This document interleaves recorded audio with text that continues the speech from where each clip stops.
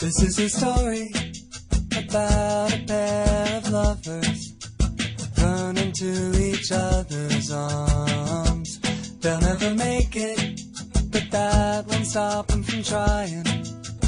Even though their love is dying, one is the weird one, but he couldn't be more pretty. We watch as he goes crazy on us. The other is cheating.